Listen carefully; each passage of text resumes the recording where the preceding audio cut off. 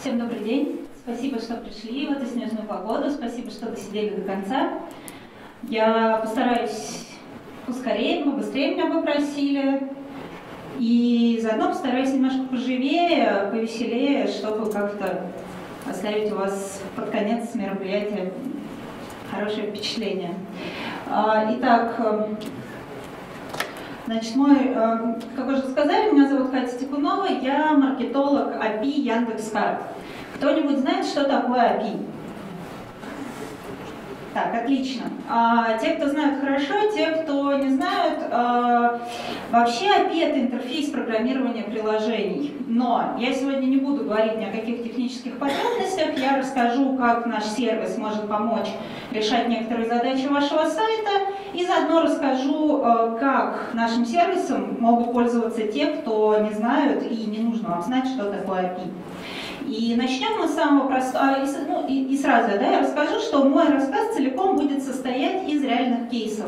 Все, что мы будем делать, это мы будем смотреть скриншоты реально существующих сайтов. Итак, и начнем мы с самого простого. На карте можно показать вашу организацию. А, вот это пример того, как сейчас до сих пор на многих сайтах выглядит карта, вот схема проезда к организации. Вот тут коллеги, специалисты по юзабилити а, рассказывали уже, как важно, чтобы пользователи могли сразу, быстро найти нужную информацию, без лишних кликов, без лишних движений. Вот эта картинка, это знаете, как в известном анекдоте. К черту подробности, в каком я городе. Какой это город? Улица Орджоникидзе есть, по-моему, в каждом городе нашей страны. О чем вообще речь? Непонятно. Что нужно сделать пользователю, чтобы вообще сориентироваться, чтобы понять, ладно, черт с ним с городом, все-таки он ищет сайт в каком-то определенном месте. А как ему сюда добраться? Где он находится? Далеко он от этого места или близко? Что делает пользователь? Он копирует адрес, дай бог, чтобы его можно было скопировать, и идет, например, в Яндекс карты, Google карты, Дубльгиз, неважно, куда ему удобно. Все, пользователь с вашего сайта ушел. Да, он помнит, что ему там нужно что-то доделать, но он зашел э, куда-то, увидел где-то рекламу, вспомнил про почту, про фейсбучик, про контактик, он может уйти.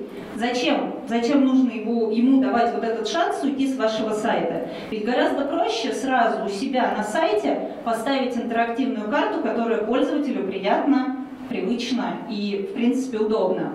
Такую карту можно призумить, отзумить, то есть изменить масштаб, как-то ее подвигать и понять, где вообще э, ваш потенциальный клиент находится относительно вашего места, относительно местоположения вашей организации. И никуда не нужно уходить с сайта. А, сразу закроем вопрос с мобильными устройствами. Наши карты, которые мы даем другим людям добавлять к себе на сайты, абсолютно работают на мобильных устройствах. То есть какой-то специальной мобильной версии делать не нужно. И поехали дальше. А, помимо, собственно, просто схемы, официальной схемы, у нас есть еще такая штука, которая называется народная карта. Зачем она нужна? Два основных кейса использования. Первый. Если города, в котором размещена ваша компания или филиал вашей компании, еще нет пока на официальной схеме, да, такое бывает, не все города есть на Яндекс.Картах. И э, Второй вариант, когда вам нужно показать пользователям чуть больше. Вот, например, на народной карте, помимо дорог, номеров домов и самих домов, есть еще объекты инфраструктуры вокруг. Вот это, например, больница Московская, но она использует народную карту, потому что на ней сразу видно, что есть вокруг. Когда это может пригодиться? Например, у вас вы занимаетесь недвижимостью. Что может очень часто понадобиться вашим клиентам? Банк, чтобы снять деньги, нотариус, чтобы оформить документы, и так далее и тому подобное. То есть вы можете сразу у себя на сайте в разделе «Контакты» дать пользователю чуть-чуть больше, чем вы ну, чем, чем в стандартной ситуации. То есть рассказать о районе, помочь ему запланировать как-то свое время. А, и почему я говорила про то, что народную карту можно использовать там, где нет официальной схемы, народную карту можно нарисовать даже самостоятельно, потому что она рисуется пользователями Яндекса по спутниковым снимкам. По спутниковым снимкам. Спутниковые снимки тоже можно использовать у себя на сайтах. Например, это актуально, когда ваша организация расположена в каком-то здании необычной формы. В принципе, это более, конечно, актуально для каких-то кафе, отелей, особенно загородных отелей, да, чтобы сразу показать территорию. Но бывают ситуации, когда спутники используются и а, просто какими-то организациями, и даже бывает, что спутники используются совершенно не для ориентирования, это я покажу чуть дальше. А, чем еще хороша карта? Опять же, спасибо огромное коллегам-юзабилистам, которые до этого выступали, которые уже рассказали, как это плохо, когда пользователи долго скроллят страницу. А, если у вас не одна организация, если у вас сеть а, филиалов, сеть отделений и так далее, вот давайте себе представим, я даже не знаю, сколько здесь меток, я думаю, порядка 50 а, давайте представим себе список из 50 пунктов с различными адресами. Да, в Москве мы можем сориентироваться по метро. Где-то в районе метро Новослободская, и мы уже смотрим по метро. А если в городе метро нет? И э, для пользователя, находящегося на улице Ленина, дом 1, улица Ленина, дом 80 будет гораздо дальше, чем, например, какой-нибудь соседний Тургеневский переулок. Так вот, ему нужно просмотреть этот список, сопоставить его в голове с, нек с некой внутренней картой, внутренним навигатором и как-то понять, куда ему ближе добраться. При этом на карте это можно показать, во-первых, в один экран, а во-вторых, э, мыслительный процесс пользователя сокращен просто до минимума. Он сразу понимает, где он, где на работу, где с работы. Опять же, остановимся чуть-чуть еще на этом примере.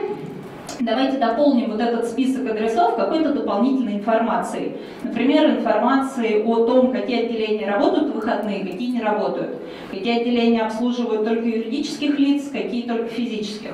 Ну, градации могут быть абсолютно разные. Так вот, опять же, используя метки разных цветов, на этой же самой карте вы сразу показываете все наглядно и понятно. Главная задача, которую мы решаем, быстрота ориентирование и наглядность.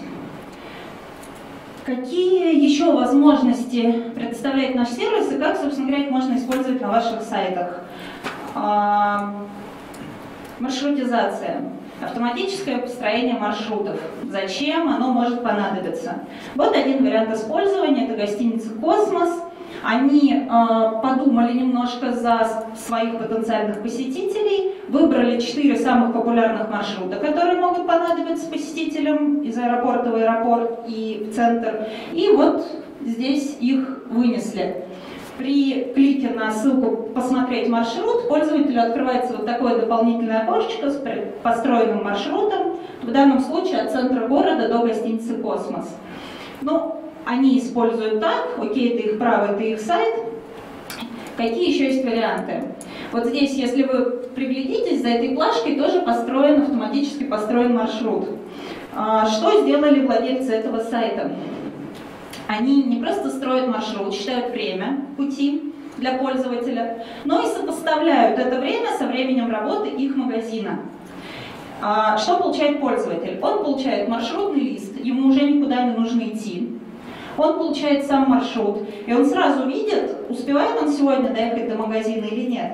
То есть он в магазин еще даже не приехал, а о нем уже, во-первых, позаботились, во-вторых, это некий интерактив, игровой момент, да, а вот, о, супер, мне посчитали, обо мне позаботились, обо мне подумали, и ну, приятно, одним словом. А, ну и, собственно говоря, самые частые, опять же, для чего а, какие-то сайты используют маршрутизатор, это сайты такси и грузоперевозок. То есть они сразу предоставляют пользователям возможность посчитать тот километраж, который будет нужен для того, чтобы проехать из точки А в точку Б. Но а мой любимый пример использования маршрутизации – это интернет-магазины и расчет стоимости доставки. Ведь если мы можем посчитать расстояние в километрах, мы можем это расстояние в километрах умножить на стоимость доставки за километр и выдать человеку сразу стоимость этой доставки в этих километрах. Это, опять же, карта с реального сайта, который занимается продажей дров. Ну и переходим быстро к следующему этапу продолжаю говорить о том, как можно рассказать об условиях доставки, если у нас интернет-магазин. Помимо построения маршрутов и расчета по километражу, можно просто разделить город на зоны и не описывать эти зоны текстом, чтобы, опять же, пользователь читал и пытался понять, входит там 3 километра откуда-нибудь там его дом или не входит. Зачем? Поделили город на зоны, показали стоимость доставки в каждую из зон. Ну или другой вариант, вот как здесь показали минимальный заказ в каждую из зон. Или другой вариант, тоже пиццерия, у них вообще, у них э, доставка осуществляется в неком радиусе вокруг ресторанов. Не нужно высчитывать, нужно просто приблизить карту, найти свой дом. И, опять же, да, тоже, о чем уже говорили изубилисты, не надо никуда далеко уводить пользователей. Он нашел подходящий ресторан, и тут же у него кнопка «Заказать» прямо с баллона. Потому что в баллон вы можете добавить абсолютно любую информацию. Ссылки, картинки, даже видео. Без проблем. Ну и еще один вариант, который хорошо подходит операторам сайтов, интернет-провайдерам или любым фирмам, предоставляющим услуги. Да, мы показываем зону покрытия по городу. Связи, сети, там, возможно, выездов наших специалистов или еще кого-то. Ну и теперь я покажу несколько вау-примеров, которые более сложные, не всегда нужные, но зато, возможно, они кого-то на что-то вдохновят. Во-первых, с помощью нашего сервиса можно показывать свои собственные карты, свою собственную подложку. То есть не только наши подложки, но и, вот, например, аэропорт Шереметьево а, на нашем движке показывает внутреннюю схему аэропорта. Опять же, это очень здорово подходит для гостиниц, кинотеатров, торговых центров, или вот, например, рынок Барабашова, крупнейший в Европе, сам отрисовал собственную карту, показывает ее с помощью нашего сервиса. А, домики – это палатки, метки – это, опять же, дополнительная информация об этих палатках.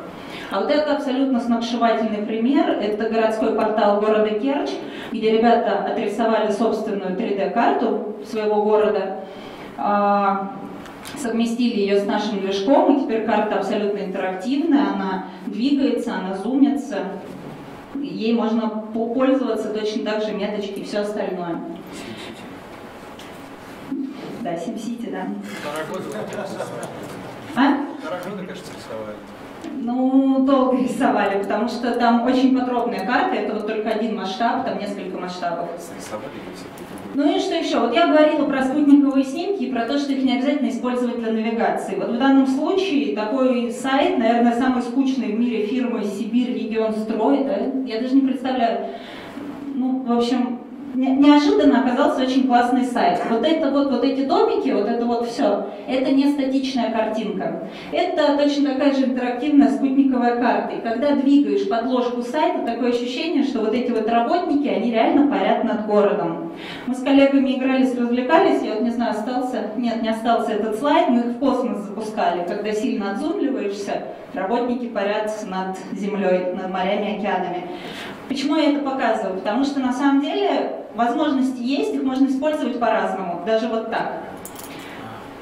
А вот это совершенно удивительный сайт, целый сайт целиком сделан на базе нашего движка, на базе API Яндекс.Карт. Вот эти вот картиночки, это метки, к которым все привыкли, просто с собственными иконками, вот такими большими. А вот эта дополнительная информация, которая раскрывается при клике на каждую картиночку, это обычные баллоны. Опять же, я это показываю не потому, что так надо делать, а потому что так можно делать. если у вас есть какая-то идея, вполне возможно, что ее можно реализовать абсолютно неожиданными инструментами. Ну и на этом слайде я постаралась как-то резюмировать то, о чем мы говорили. Прежде чем перейти, если у меня, у меня есть еще три минуты, прежде чем перейти к... Прежде чем поехать дальше, в общем, скажем так. Быстро два слайда про цифры. А, здесь на этом слайде, собственно говоря, указано покрытие, которое у нас есть на данный момент. Мы постоянно растем, постоянно расширяемся, народную карту отрисовывают все новые и новые города, официальные схемы тоже появляются все новых и новых городов. Ну а карты Турции, США и Европы вы можете найти на, найти на доменах com и com.tr. На RU вы их пока не найдете, но если вы зайдете на maps или maps там вы найдете эти карты. Опять же, их тоже можно использовать у себя на сайте. Ну и чтобы вам было понятно, что ваши пользователи, оказавшись на вашем сайте, на котором будет установлена эта карта, не растеряются, не испугаются и точно будут знать, что делать. У нас 4,5 миллиона пользователей ежедневно видят нашу карту на сервисах Яндекса. Это фотки, недвижимость, карты сами. И 7,5 миллионов пользователей ежедневно видят эту карту на 135 тысячах сторонних сайтов. Они точно ее видели, они точно знают, как ей пользоваться. А что же делать, если мы не, не знаем не то, что программирование, если мы даже не знаем, что такое API? Все очень просто. У нас есть э, инструмент, который называется конструктор карт. Я надеюсь, презентация будет выложена, и вы сможете как-то потом переписать эти ссылки, посмотреть. Конст... Обязательно. Да, сделать карту на конструкторе карт не сложнее, чем сделать презентацию в PowerPoint. Вы все делаете сами, а потом просто добавляете строчку кода в свою CMS-ку, ну, либо отдаете ему ее верстальщику вашего сайта. Там можно выбрать тип карты и так далее. Если бы мы с вами встретились неделю назад, я бы вам сказала, что у конструктора один недостаток. Карту нельзя редактировать. Сегодня я вам этого не скажу, потому что буквально в понедельник мы выкатили новый конструктор, прошлый понедельник, который можно редактировать. Единственное, прежде чем создать карту, вам нужно авторизоваться на Яндексе. И желательно это сделать все-таки не под личным аккаунтом, а под корпоративным, потому что передавать карты с аккаунта на аккаунт нельзя. А также у нас есть модули для наиболее популярных CMS, опять же список постоянно растет. Сейчас это Bittrex Netcat, Joomla Drupal и WordPress, и монстры еще, да. Вот, вот такие CMS, список пополняется постоянно. Ну и если вам нужно что-то сложное, что-то классное, что-то такое, что, чего нельзя сделать простыми инструментами, у нас есть подробная документация. Ее уже нужно будет отдать программисту. Это фронтенд разработчик, это нужно знание JavaScript, JavaScript это по сути дела верстка, то есть это недорогая разработка, это не что-то такое вау, с этим в принципе должен по идее справиться любой хороший верстальщик.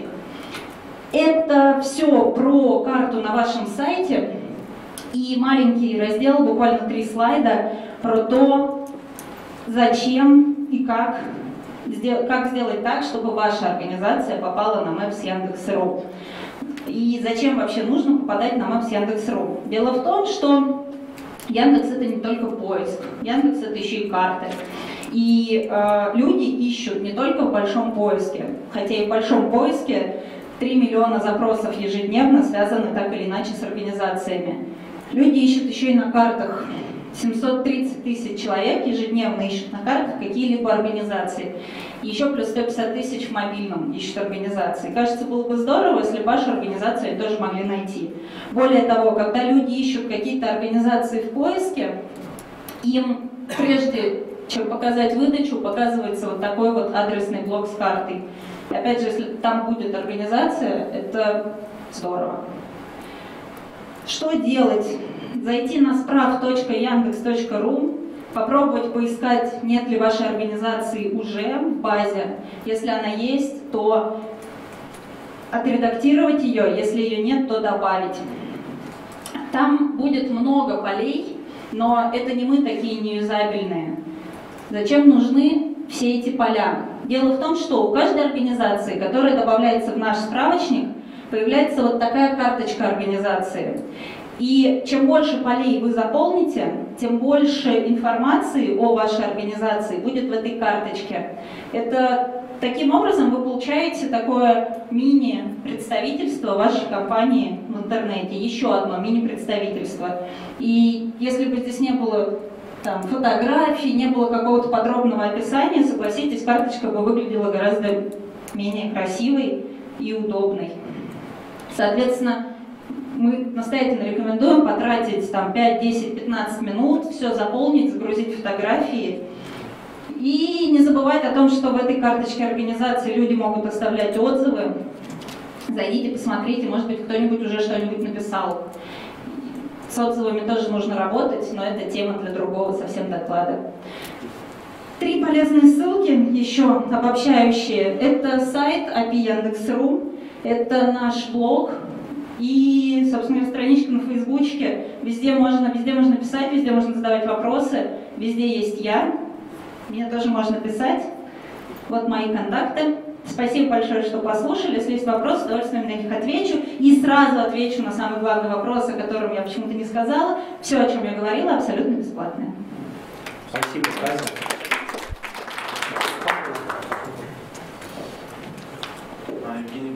Компания Proline. Спасибо за доклад. А, действительно, Яндекс.Карты является хорошим очень инструментом. Приятно было видеть э, пример использования Яндекс.Карты на сайте гостиницы «Космос», наша разработка. То есть мы впервые попробовали решение и по, а, можем сказать с уверенностью, что пользуется популярностью, очень интересно. Но а, меня беспокоит такой вопрос. То есть мы как раз работаем в гостиничной тематике, да, и мы там отмечаем гостиницы, на картах помогаем нашим клиентам всячески. И получается так, что в какой-то момент мы заметили в поиске, ну, допустим, по запросу гостиницы Москвы строится Яндекс.Карта, на ней отмечается организация, та же, например, гостиница Космос, которую мы там с удовольствием на карте отметили, добавили все поля, там фотографии, там, информацию о номерах. Ну, в общем, постарались максимально полную, наиболее полную информацию профиль заполнить. И потом появилась такая кнопочка «Забронировать». Вот. И эта кнопочка «Забронировать», она значит, предлагает далее там, три варианта, то есть уйти на два сайта посредника и на официальный сайт. Мы, честно говоря, этой кнопочкой были очень разочарованы, то есть как бы старается организация, а уходит там потом в итоге пользователь куда-то на Booking.com, там островок или еще что-то. Вот, э, то есть ну, тут у меня два ответа. Во-первых, э, конечная цель гостиницы «Космос» все-таки, чтобы у них забронировали номер. Какая разница, напрямую через островок, нет? Но это, да? Окей, я, я, я не в гостиничном бизнесе, я не знаю. А, а, комиссия, я поняла. Вот, еще один вариант. Попробуйте, э, а вы писали в суппорт? Ну, то есть, смотрите, я, к сожалению, не могу ответить на этот вопрос, потому что это все-таки немножко не тот сервис, за который я отвечаю. А, напишите в суппорт, письма разбираются, и вам, я думаю, ответят, и вы как-то сможете, ну, по крайней мере, повысить приоритет, например, а, официального ну, сайта. Вот. Вот здесь был вопрос. А, я хотел спросить вопрос. А, вот если у нас есть интернет-магазин, например, да, и мы хотим предоставить пользователям возможность выбрать адрес доставки, либо ввести вручную, либо отметить на карте. Это, то есть, Запросто. чтобы он поставил маркер, и мы смогли вытащить адрес. То есть Запросто. с помощью IP это реализуется. Да, да, прямое обратное геокодирование есть. То есть вы можете либо использовать поисковую строку, куда он сможет вбить. Ну вот, собственно говоря, сайт, который с каминами я показывала, я не знаю, сейчас быстро до него долистаю или нет. Уже сейчас инструмент появился рядом с конструктором карт, там есть геокодинг. А, не, этот инструмент старый, просто геокодирование, оно есть еще и прям в API. То есть этот инструмент, вот, ну, вот, э, ну вот смотрите, вот, например, на этой карте, да, вот в данном случае я просто, чтобы сделать скриншот, э, ну, просто тыкнула в метку в какую-то, ну, в какое-то место на карте. Соответственно, э, у вас система получила уже координаты этого места, и вот здесь, видите, ну, как бы он сразу выдал район, ну, то есть некую информацию. Просто здесь нет никакого дома, поэтому тут информация только до района. А вы получите информацию до номера дома, если будет э, нажат в какой-то есть дом. функции, помощью Да. Да, есть примеры, вы зайдите, там есть песочница с примерами, есть очень много примеров документации, и плюс, э, собственно говоря, в блоге мы постоянно пишем статьи, где подробные пишем статьи вот об этих частных кейсах. А вот поисковая строка, о которой я говорила, там можно ввести точный адрес, и метка будет поставлена уже на точный адрес. То есть это запросто. Да. Иду к вам.